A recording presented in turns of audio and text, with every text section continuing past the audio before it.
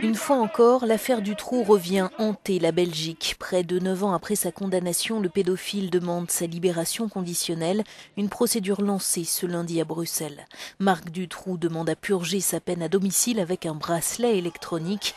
En 2004, il avait pourtant été condamné à la réclusion à perpétuité pour l'enlèvement, la séquestration et le viol de six fillettes et la mort de quatre d'entre elles.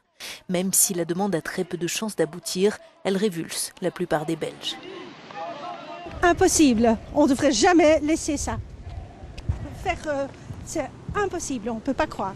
C'est un genre de clémence hein, qui demande maintenant, alors qu'il n'en a eu pour personne. Donc, euh, surtout aucun regret, rien du tout. Alors, n'ayons aucun regret, laissons-le dans son trou. C'est pourtant bien le droit belge qu'invoque le pédophile meurtrier, celui-là même qui a permis à son ex-épouse et complice d'obtenir la libération conditionnelle il y a six mois. Elle vit depuis dans un monastère. Notre correspondante de conclure, les mois suscités par l'affaire du trou, la plus marquante de l'histoire judiciaire belge, est toujours aussi vif. Certaines familles de victimes qui remettent en cause l'efficacité du système judiciaire du pays viennent de porter plainte devant la Cour européenne des droits de l'homme.